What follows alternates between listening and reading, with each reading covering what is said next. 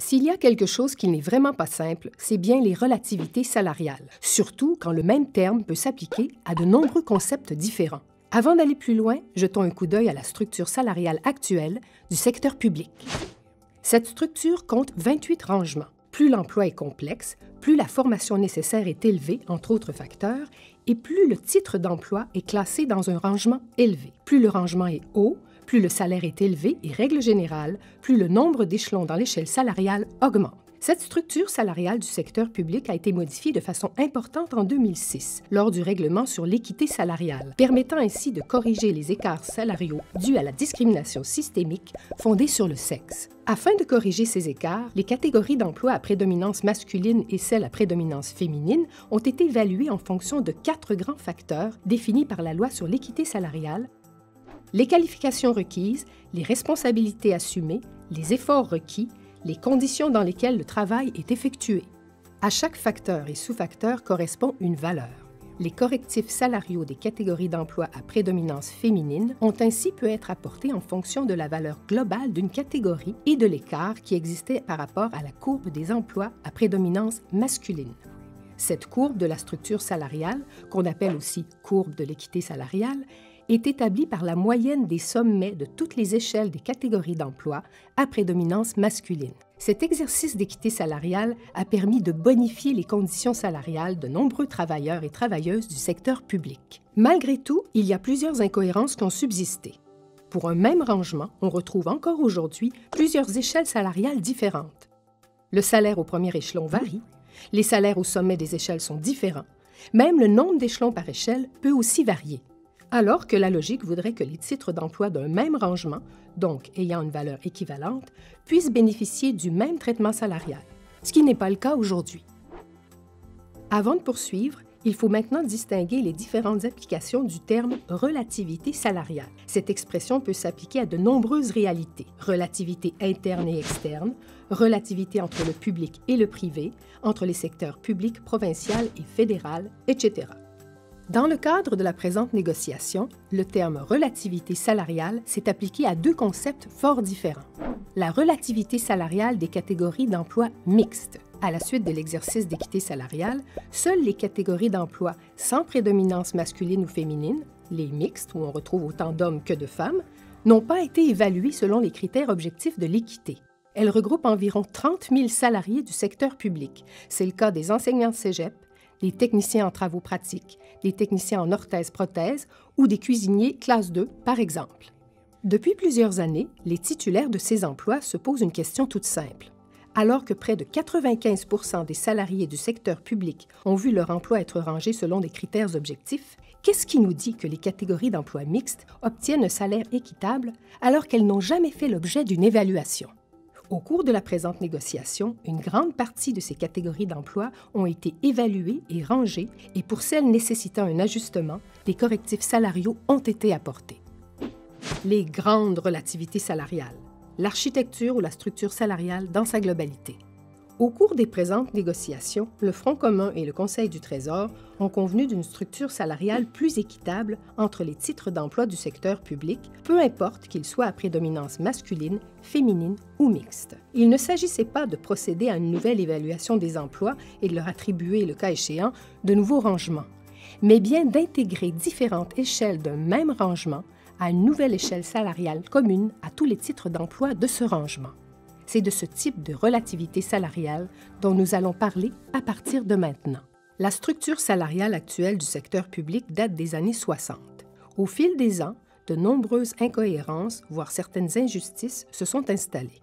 Alors que la structure actuelle compte 28 rangements, on y retrouve plus de 165 échelles salariales différentes. Pour un même rangement, on peut en effet retrouver plus de 10 échelles différentes avec des salaires variables alors que la logique voudrait que tous les salariés d'un même rangement, de valeur à peu près équivalente, bénéficient du même traitement salarial. Voilà pourquoi le Front commun a accepté de procéder à ces travaux, en posant toutefois les conditions suivantes.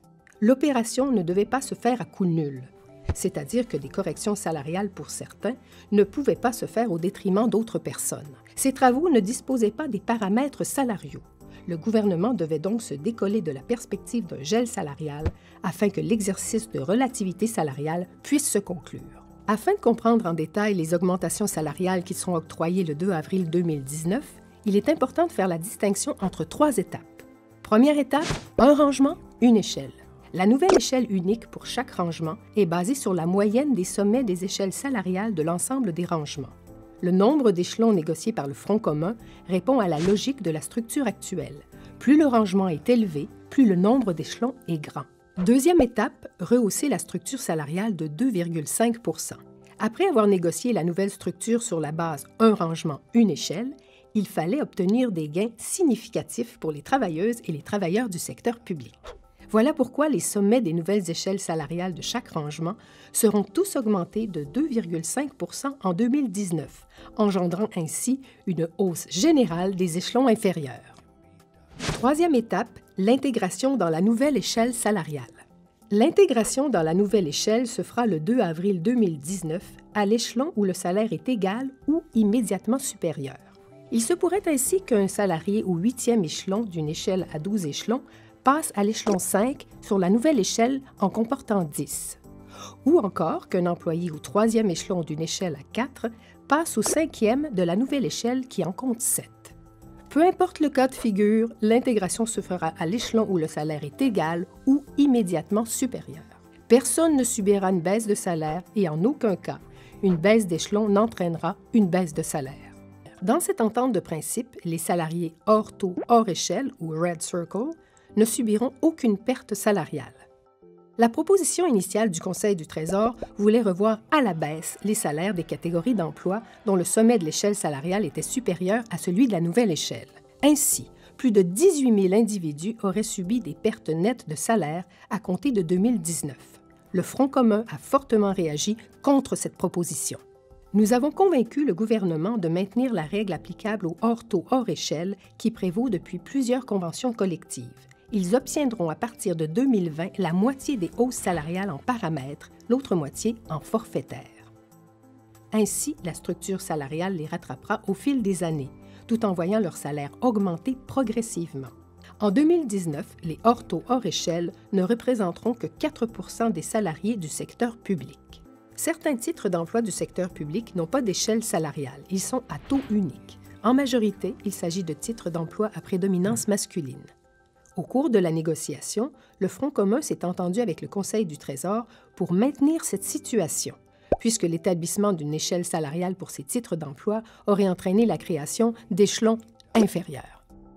Afin de préserver l'équité entre un titre d'emploi à taux unique et les titres d'emploi d'un même rangement ayant une échelle salariale, donc avec des échelons inférieurs à ce taux unique, le Front commun a convenu de cette méthode de calcul pour établir le taux de traitement sur la base d'une carrière moyenne de 33 années. Voici l'exemple d'un rangement où l'échelle comporte cinq échelons. L'addition du salaire des quatre premiers échelons, plus 29 fois le salaire du dernier échelon, le taux divisé par 33 égale le taux unique de ce rangement. À l'intérieur du cadre de ce vaste exercice de relativité salariale, chaque salarié constitue un cas d'espèce. Un simulateur a donc été créé afin de pouvoir indiquer dans quelle situation se retrouve chacun d'eux. Il peut être consulté à l'adresse suivante